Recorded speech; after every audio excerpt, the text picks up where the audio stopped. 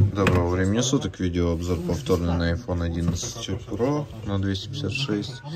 Просили более четко показать email.